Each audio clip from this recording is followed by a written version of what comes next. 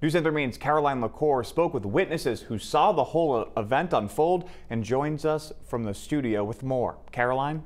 Hey, Sam, good evening. Yeah, this all started Thursday night when residents claimed they heard gunshots outside of their window. And even though an alleged suspect is in custody, they still feel on edge.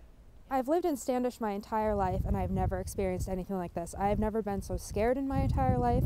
Residents of Oak Hill Road in Standish are still shaken up after a shooter showed up to their neighborhood two days in a row. So the first shot we heard, I said, you know, what, what the hell was that? Concerned for their safety, residents asked to remain anonymous. They tell News Center Maine it was Thursday night when they saw a person shooting from a parked Jeep Wrangler in front of a neighbor's house and he just continued to fire. It was boom, boom, boom, boom, boom. When they called the sheriff's department, they were told deputies would be on the lookout, but that no arrest could be made. Dude, I'm so scared right now. Look.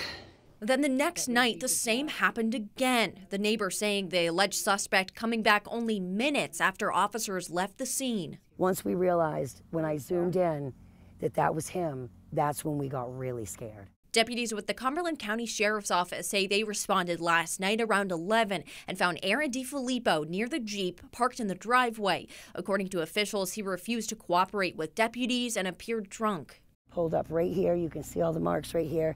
Turned his Jeep right off in his lights. Then DeFilippo allegedly got back into his car and drove off, maneuvering around several officers' cars and spike strips. Police failed to catch up to him.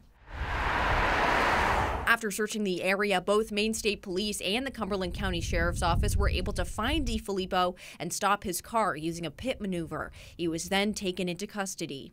I don't know what's going to happen from here. I'm scared for my family. But residents say they feel as though their initial concerns were dismissed by deputies when they first spoke to them on Thursday and are questioning if the situation could have been handled better. How did he get right under your nose? How did he literally pull in right under your nose?